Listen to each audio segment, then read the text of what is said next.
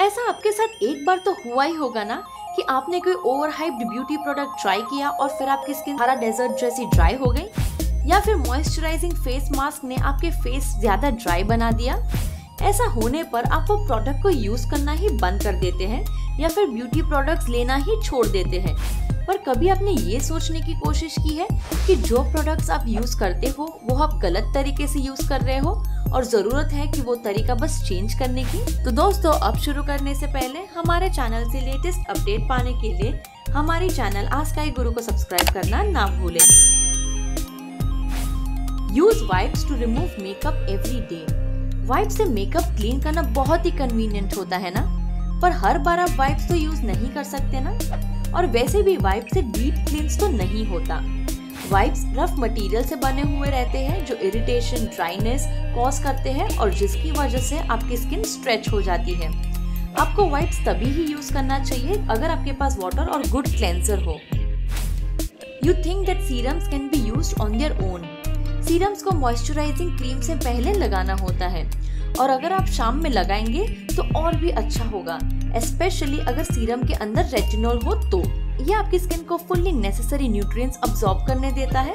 और समर में retinol rich product sunscreen के साथ मिलाकर लगा सकते हैं, ताकि आप सनबर्न भी अवॉइड कर सकते हैं। Use dry sponges after putting foundation most sponges या कोई भी popular beauty blenders wet use किए जाते हैं। और इसीलिए ड्राई स्पॉन्ज यूज़ करने के जगह वेट यूज़ करके देखिए ये फाउंडेशन को ब्लेंड करने के लिए और फाउंडेशन को ये इवनली और स्मूथली ब्लेंड होने भी देगा।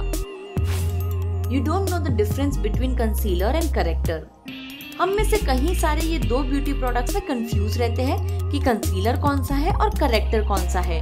तो मैं आपको बता दूँ कि कंसीलर सिर्फ़ आईज के नीचे वाले एरियाज़ पे लगाना होता है और करेक्टर स्किन के डिफेक्ट्स हाइड करने के लिए यूज़ किया जाता है। जब आप कंसीलर यूज़ कर रहे हो तो आपको आपकी स्किन एडवांस में मॉइस्चराइज रखनी चाहिए।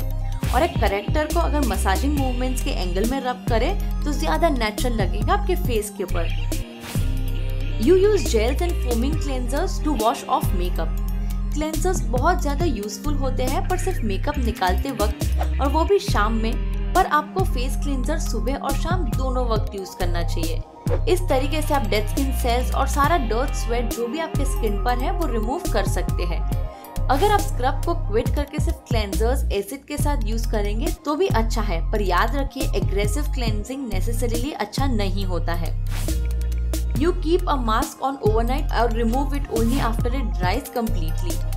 अलग अलग तरीके के फेशियल मास्क को अलग अलग डायरेक्शन में यूज़ करना बहुत ज़रूरी होता है। अपने फेस पर मास्क ओवरनाइट ना रखें और अगर मैन्युफैक्चरर ने डायरेक्शंस के अंदर मेंशन नहीं किया है तो क्योंकि ये आपको सीरियस स्किन प्रॉब्लम्स भी दे सकता है। तो ये थे कुछ टिप्स जिससे ब्यूटी प्रोडक्ट्स अच्छे से और लॉन्ग टाइम के लिए यूज़ कर सकते हैं। और इससे जुड़ी आपके पास और भी कुछ जानकारी है तो हमें कमेंट सेक्शन में ज़रूर बताएँ। और अगर ये आपको हमारा वीडियो पसंद आया होगा तो इसे लाइक शेयर एंड कमेंट ज़रूर करें। तो अगले वीडियो तक के लिए अलविदा दोस्तों, धन्यवाद।